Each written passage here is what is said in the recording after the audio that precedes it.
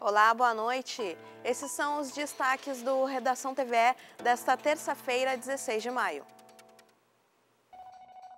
Mega operação de transferência de presos libera pavilhões para a nova fase da reforma da cadeia pública de Porto Alegre. Pesquisa revela perfil das mulheres que cumprem pena nos presídios do Rio Grande do Sul.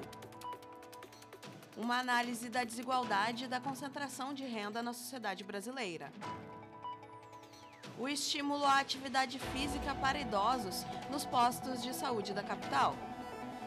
E no Dia do Gari, o reconhecimento à importância do trabalho desses profissionais para as nossas cidades.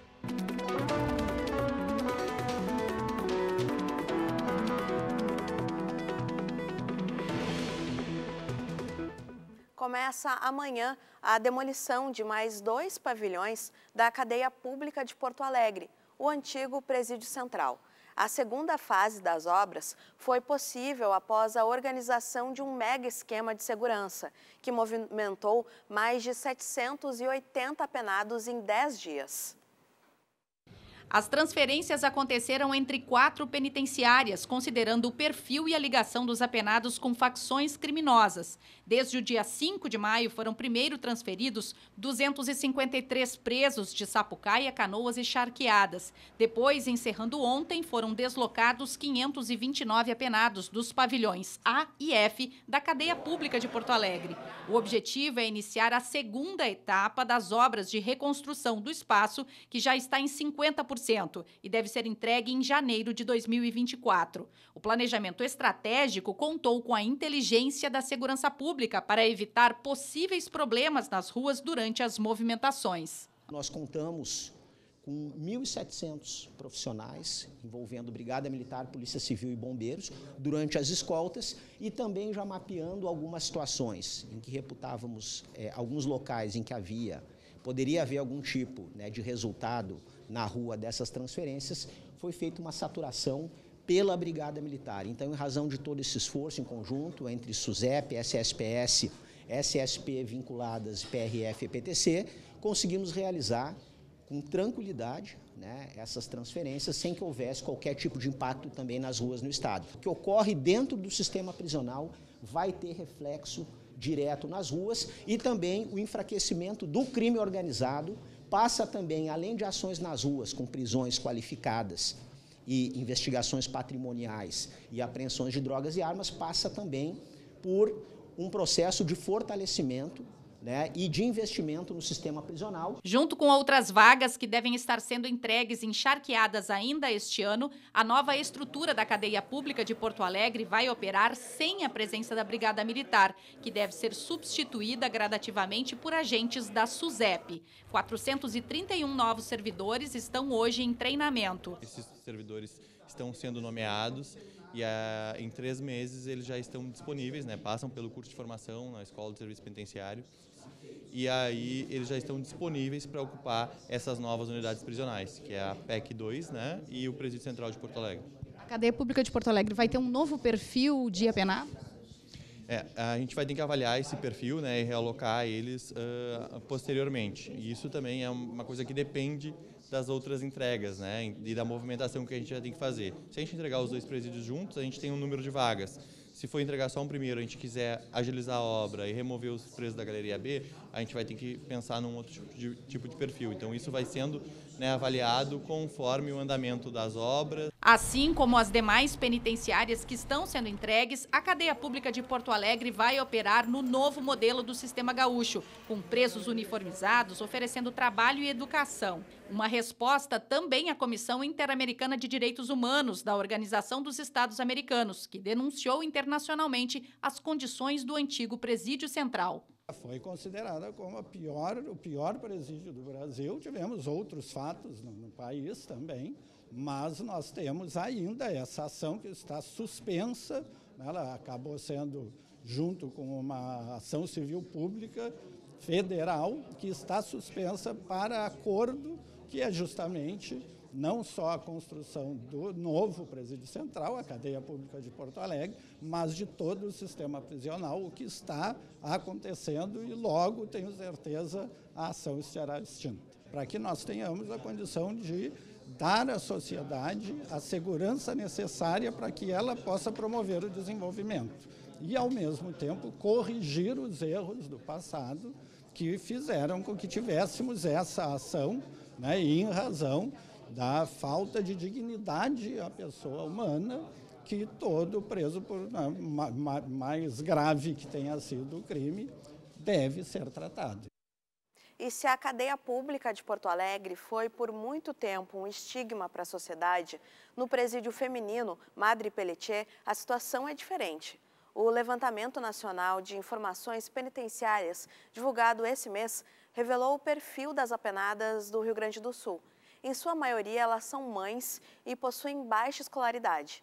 E outro dado chama a atenção: as mulheres são menos de 6% do total de pessoas presas no estado, a minoria no sistema carcerário gaúcho. Nedir tem seis filhos e uma saudade enorme. É muito triste ficar distante dos filhos, sempre que ele sozinho, né? Então sou uma mãe muito presente com eles, então a minha saudade deles é imensa. Cada dia que passa eu conto as horas para ir para casa. Tenho orgulho deles, todos eles trabalham, sabe? Então muito bom. Há um ano e nove meses, ela cumpre pena por estelionato. Se envolveu numa fraude com falsificação de documentos. Crimes contra o patrimônio e tráfico de drogas são os principais motivos de prisão entre as mulheres gaúchas. Respondem por quase 77% dos casos. Mais da metade das detentas é jovem, tem até 34 anos, e a cor da pele predominante é branca. A maternidade é outra característica comum quase 80% delas são mães. E geralmente não são mães de somente um filho, mas de dois ou mais. Pessoas que não tinham emprego formal, pessoas que dificilmente tiveram carteira assinada no momento em que estavam estavam em liberdade. A maioria das apenadas não conseguiu estudar por muito tempo, tem baixo nível de instrução. Quase 80% não concluíram o ensino médio e 46% não completaram nem o fundamental. Algumas chegam aqui sem saber nem ler e escrever, oportunidade que é oferecida dentro do sistema prisional. Aqui funciona um núcleo de educação para jovens e adultos, com alfabetização, ensino fundamental e médio em três turnos. Nós temos casos de pessoas que ficaram recolhidas aqui conosco, que entraram para alfabetização e permaneceram até o final da na conclusão do ensino médio e nos disseram assim que chegou no momento da, da saída da casa prisional e elas tinham condições de chegar na parada de ônibus e saber qual ônibus elas poderiam pegar para se dirigir para casa. A Adriana também precisava de ajuda para saber que ônibus pegar. E como é que faz para se virar sem ler e escrever? É difícil, né? É difícil até para arrumar um serviço, né? Mas daí eu ia vender minhas balas, vendia bala de goma no centro. Mas agora, aos 38 anos, está se alfabetizando. Há dois meses, ela cumpre pena por furto e trabalha na cozinha do Madre Pelletier. Conta que morou na rua por muito tempo. Saiu de casa com oito anos para pôr fim aos abusos do padrasto que a mãe alcoólatra defendia. Eu optei a sair de casa porque não tinha como ficar ali. Se ela não acreditou em mim, ele ia continuar fazendo o que ele fazia. Daí eu tive que ir para a rua. Só deixou as ruas aos 22 anos, quando teve o primeiro bebê e recebeu a ajuda de uma amiga. Hoje é mãe de oito filhos com idades entre 17 e 2 anos. É difícil para mim ficar longe deles, é muito difícil. Tem às vezes que eu acho que eu não vou conseguir, sabe? Mas daí eu agarro com Deus, peço para Deus me dar força, para Deus me ajudar, entendeu? Me poder com eles, porque eu só vim pagar o erro do passado, né? Para as mulheres, o cárcere ele não traz somente o peso da prisão.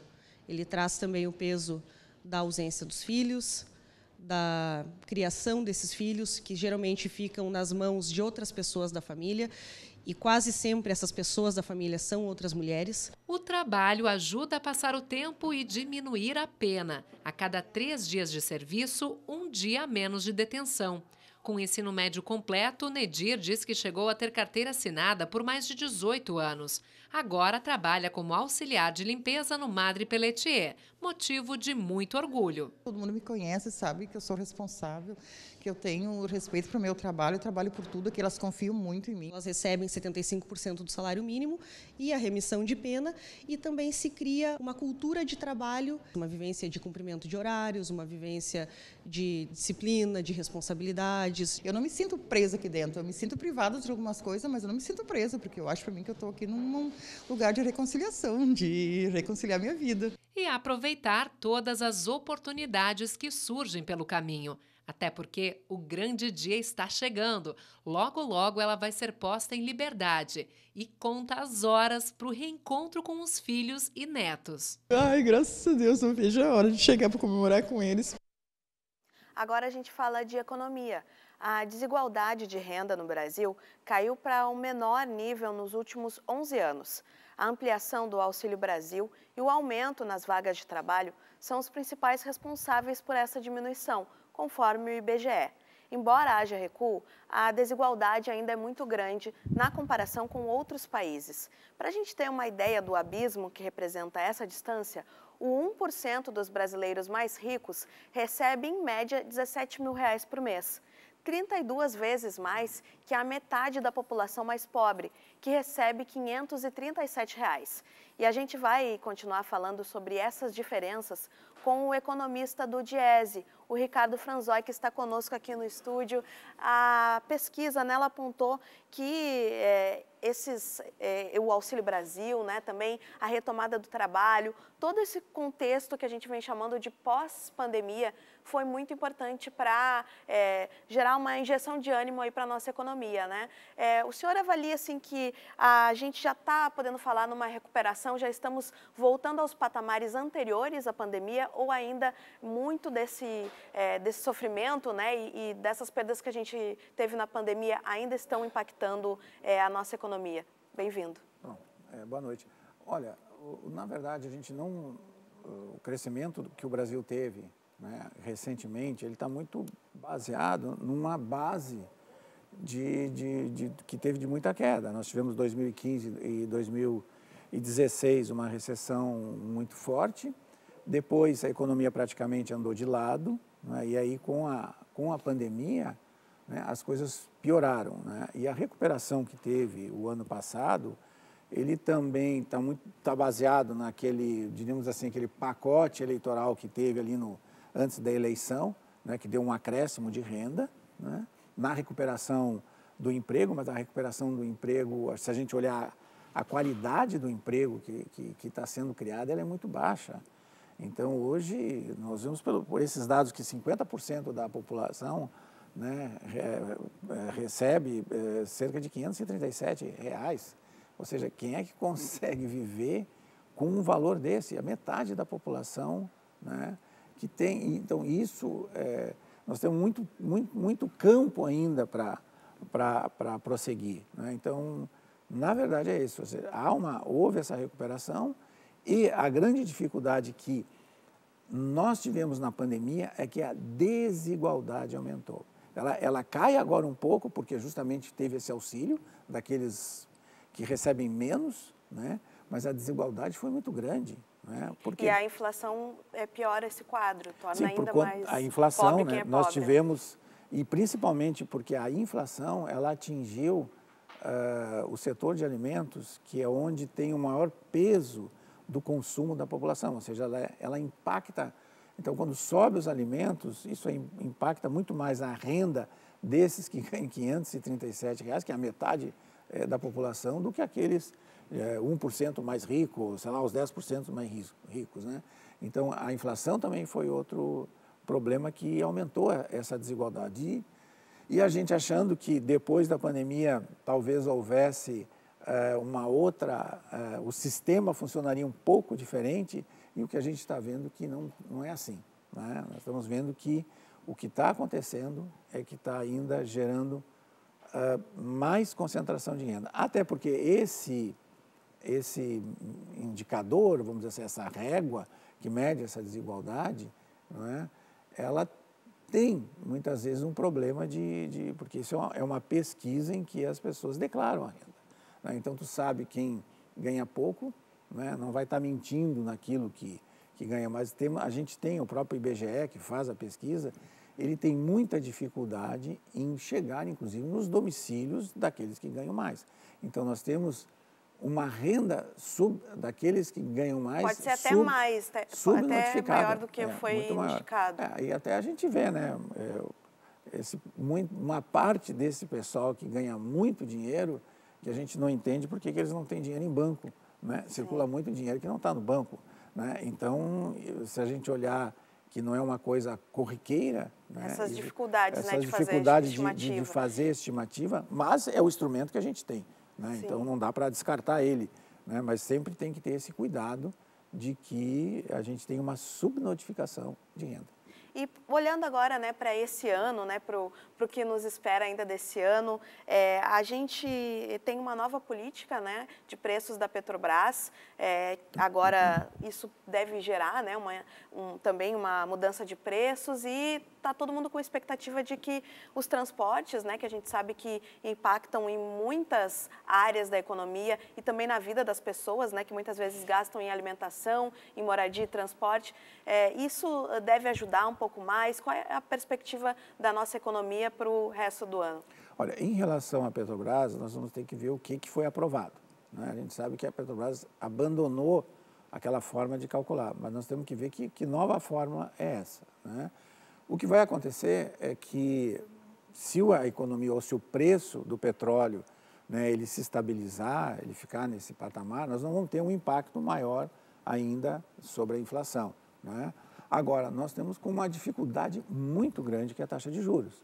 Ou seja, na medida em que, tu imagina o seguinte, se eu tenho um dinheiro, se eu vou investir, né, por que, que eu vou me investir e arriscar se alguém né, lá do Banco Central está dizendo assim, não invista, né, eu, tô, eu vou manter essa taxa de juros porque eu acho que a economia tem que desacelerar, né, tem que desaquecer. Né? Bom, por que, que eu vou investir? Então eu não invisto, eu fico parado e fico aplicando no mercado financeiro que eu ganho muito mais, ou seja, eu tenho uma riqueza, eu vou lá e não produzo absolutamente nada, deixo aquele dinheiro e um mês depois eu estou mais rico. Né? Então, é, essa, essa mudança desse sistema tem que mudar. Né? Então, nós temos um impeditivo fortíssimo, que é a questão da, da taxa de juros. Né? Enquanto essa taxa de juros não cair, o que a gente está vendo é que tem um conjunto de políticas econômicas que ajudariam a favorecer essas pessoas que ganham menos, e a gente sabe que esses que ganham menos, ao receber o dinheiro, eles vão gastar ali. Eles não vão investir, eles não vão ter uma conta no exterior, eles não vão ter uma poupança no exterior, eles nem, não vão nem viajar. Ganham tudo isso, né? Não, é? não então, tem condição disso. Então, é isso um... vai girar a economia. É Agora, uma expectativa que a gente fica, então, né, de, de conferir é e voltar a falar sobre esse assunto quando a gente tiver uma mudança também no, no Banco Central, né, quando a gente puder ver é. É, mudanças aí em outras áreas da nossa economia. Eu, eu acho que a situação está cada vez mais ficando difícil para o Banco Central, porque a gente está vendo que o dólar está caindo, isso aí vai ajudar muito. Sim. Se o dólar permanecer mais baixo, porque todos os preços que Ele são importantes... Ele precisa realmente ceder, né? É. Eu agradeço demais a sua é, participação aqui no Redação TVE, o economista do Diese, Ricardo Franzói. Uma boa noite para o senhor. Uma boa noite para vocês. E nós vamos agora a um breve intervalo. Na volta tem a previsão do tempo para esta quarta-feira. E uma homenagem aos profissionais mais importantes para a limpeza das cidades, no Dia do Gari.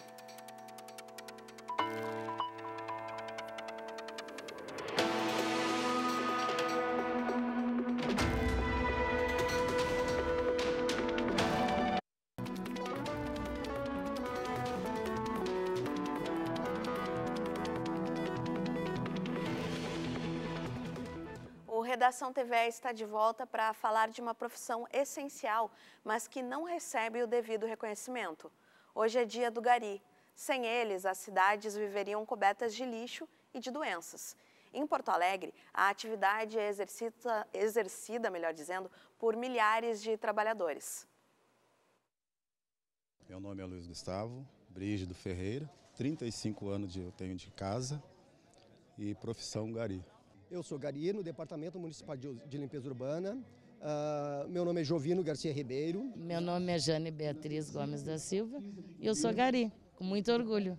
Luiz, Jovino e Jane são funcionários de carreira do DMLU, com mais de 30 anos de experiência. Hoje, Luiz trabalha na fiscalização. Comecei com, com limpeza de terreno, capina, que eles chamavam né, antigamente, e literalmente pegar na enxada mesmo. Né? E, e isso para mim foi importante, porque era o meu primeiro emprego. Ser gari para mim é um orgulho. É. Fui descobrir que o dia do gari se confundia com o dia do meu aniversário, isso foi muito legal também. Eu não fiz outra coisa a não ser ter uma, uma, uma, uma carreira dentro do Demeliu. Né? Hoje eu estou aqui, trabalho em escritório e sou gari. Para a Jane, uma das poucas mulheres na profissão, não tem tempo ruim. Conhece todas as etapas do trabalho. É uma das poucas que ainda está na rua. Porque eu trabalho interno, eu trabalho na rua, eu trabalho no caminhão, eu trabalho com varreção. É uma profissão linda, que eu amo que eu faço. Né? Até hoje, sempre gostei de ser gari, não mudaria, não me arrependo. Jovino estudou gestão ambiental e tem gosto pela pintura. Em 2021, fez um mural em homenagem aos trabalhadores da limpeza urbana. Era essa a ideia, né? Deixar um painel para todo o trabalhador do Departamento Municipal de Limpeza Urbana, representando bem a figura, qual é a função do, do DMLU. Muita gente tem estigma com o DMLU, que quando a gente vai à rua, algum lugar, ou mesmo um gari, a pessoa puxa a mão quando vai cumprimentar. Isso soa um pouco estranho, né? Quando na verdade nós fazemos o asseio público da cidade. O DMLU tem 349 garis no quadro profissional. Contratados por meio de terceirizadas, são mais 2.400. Parte dos servidores participou de um café da manhã na sede do departamento. O Dia do Gari também marca o início da 18ª semana Cidade Limpa. E o objetivo desta semana né, traz uma discussão que é a questão da segregação, da separação dos resíduos. Né? E eu posso dar alguns dados para vocês assim que nos espantam muito. Uh, hoje nós arrecadamos numa média de 1.100 toneladas de resíduos na casa de cada um dos contribuintes. E dessas 1.100 toneladas que chegam lá no nosso transbordo, praticamente 250 toneladas poderiam ser de reciclável aumentando a geração de emprego e renda com as unidades de triagem com quem a gente tem convênio, né? assim como diminuindo o custo do transporte e o destino final desses resíduos. Na capital, 4,5% do lixo é reciclado. Para avançar, é necessária a correta separação dos materiais. E além disso, no trabalho diário, Emerson e Fabrício esperam por essa parceria, em atitude simples. Não pôr vidro quebrado é para avisar a gente qualquer coisa de risco, poder, qualquer coisa que puder ajudar nós, ajudar nós. Se tem cachorro bravo, alguma coisa assim, deixar o portão sempre fechado, nunca perto da cerca onde põe o lixo, se tiver cachorro solto, deixar fora da cerca, botar para fora ali, que tem como nós pegar, para não correr risco. Assim a gente espera, né, que cada vez mais eles valorizam cada vez mais a gente, a gente valoriza eles e assim a gente vai se ajudando. E chegou a hora da previsão do tempo. A quarta-feira será ensolarada com poucas nuvens e temperatura agradável no Rio Grande do Sul. Vamos conferir no mapa.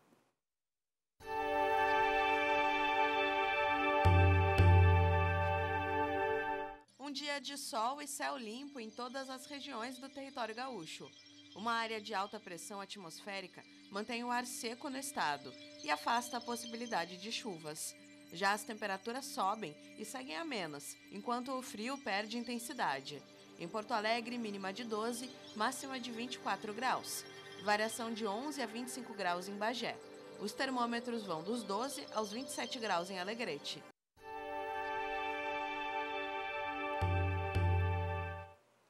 Ontem nós falamos aqui no Redação sobre a importância de valorizar o processo de envelhecimento da população. E a gente volta a esse tema agora, pois as unidades de saúde de Porto Alegre vêm dando uma atenção mais completa à condição física dos idosos. Atividade física na porta do posto de saúde. A Unidade Básica Ramos, no Rubem Berta, integra o novo programa da Prefeitura da capital, que já completa um mês, levando a prática de exercícios físicos para a rotina de pacientes idosos, hipertensos, diabéticos, entre outras doenças crônicas que se agravaram durante a pandemia. A gente tem uma equipe multiprofissional, a gente vai trabalhar de uma forma inter, interprofissional, assistentes sociais, enfermeiros, educadores físicos, é, na perspectiva, né, com o objetivo de melhorar esses indicadores né, dentro da cidade de Porto Alegre. Esses enfermeiros vêm fazendo, então, tanto no domicílio quanto nas unidades de saúde, uma avaliação multidimensional, né, avaliando, fazendo anamnese junto com os educadores físicos, para poder avaliar qual é a condição de saúde desses, desses usuários que estão nas unidades de saúde na cidade de Porto Alegre e a partir disso traçar um plano uh, visando a melhoria das condições de saúde desses usuários. Quando chegar no final, a gente vai poder ver o que, que realmente melhorou na vida dessas pessoas. Com certeza, o objetivo é promover a saúde, prevenir agravos e melhorar os indicadores de saúde na cidade de Porto Alegre. As unidades ficam nas quatro regiões da cidade e a adesão dos usuários é voluntária. A dona Sandra buscou os exercícios porque sofre com a fibromialgia. A gente vive com dor 24 horas por dia não tem medicamento certo e a gente toma, toma remédio, está sempre com dor, já levanta com dor, ah, dorme com dor e assim a vida de quem tem fibromialgia, né? Já a dona Marilza é cardíaca e durante a pandemia viu piorar a hipertensão e desenvolveu a diabetes e a obesidade. Ela começou o processo com a reeducação alimentar e perdeu 12 quilos. Cortei os doces, pizzas, né? Zero, porque a minha diabetes apareceu depois da pandemia, né? Agora estou com 88 e 200, né? Eu quero tentar bater mais ainda. Quando a senhora estava com seus 100 quilos, o que, que o médico dizia para a senhora? Se tu não te cuidar, tu morre. ou fecha a boca ou vai para uma UTI. Senão tem que fechar a boca. ou uma opção ou outra, né? Optei por positivo ou negativo.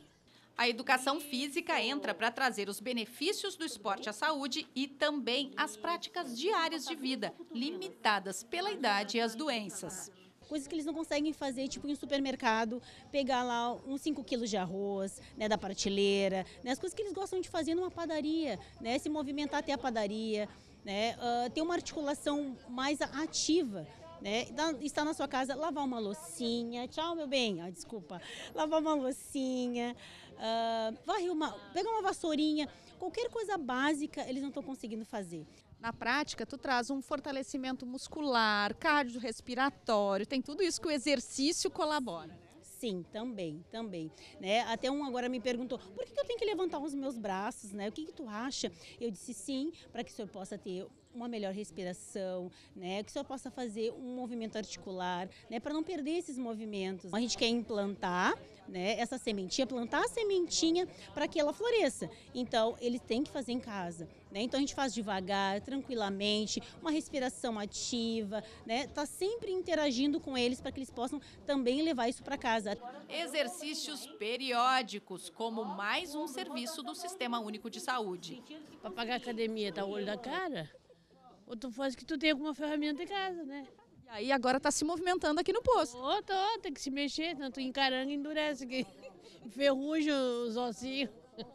E tem exemplo também. O seu Getúlio, de 70 anos, está com os exames todos em dia. Ele entrou no grupo para incluir mais uma atividade física na semana, já que para ele, exercício é rotina. Como é que é assim no dia a dia? Procura ir a pé nos lugares, faz isso também? Procura ir a pé, né?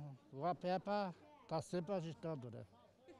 E vai na academia aqui do bairro? E vou na academia. Se ficar só em casa, vem aqui já faz o... sai mais novo, né?